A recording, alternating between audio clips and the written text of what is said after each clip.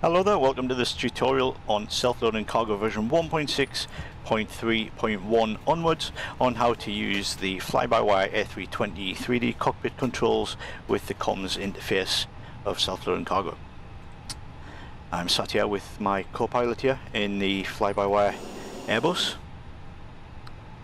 and uh, basically what you need to do first of all is to open up self-loading cargo, open the extended toolbar, go to settings, make sure this is turned on by going to the compatibility tab, aircraft, fly-by-wire and making sure that the enable overhead comms buttons checkbox is in fact checked and then close out of there.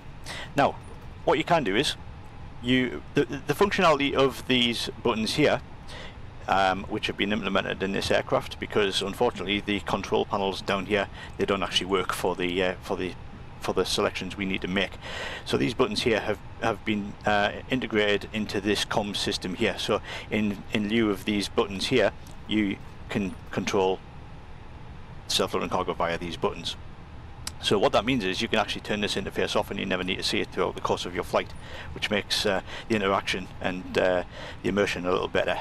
So in order to do that, if you open the voice helper window, which you can see here, by clicking on the question mark, you will see there's a button here that says SLC UI. I'll move it out of the way so you can see SLC UI in green. If I click that, it goes red and the interface disappears. So you no longer have to have the self-loading cargo interface on screen if you don't want to your choice but basically all I need to do now to manipulate self-loading cargo is to use these four buttons at the top.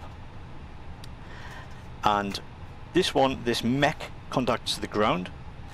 All makes a broadcast to the cabin via the PA system and FWD forward and aft control the intercom this one and the cabin crew. So if I wanted to make a PA broadcast I would click all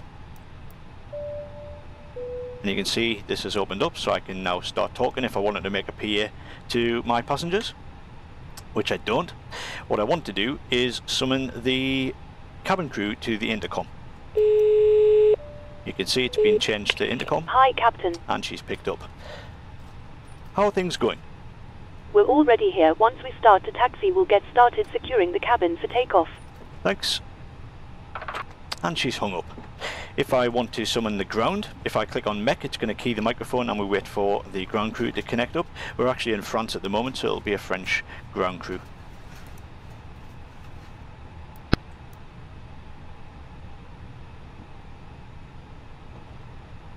So we wait. Go ahead. Radio check, please.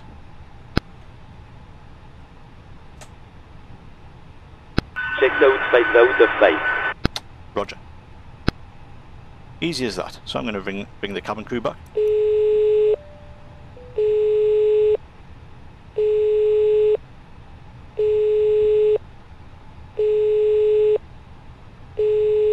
Remember she's got to walk the length of the aircraft to where the intercom is. So it takes an indeterminate amount of time for her to answer. Hi. Could you start the cabin music please? No problem. Give me a second. Thanks.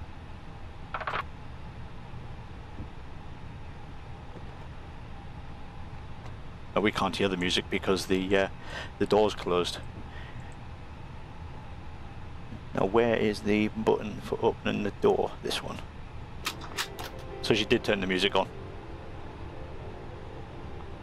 And that's all there is to it. So if you if you want to uh, to do, perform the integration you can just use these four buttons and uh, self-loading cargo will function as normal. Remember to get the interface back you just have to click the red button and then you're back to normal and you get access to all of your all of your extra windows including turning the music off manually if you like.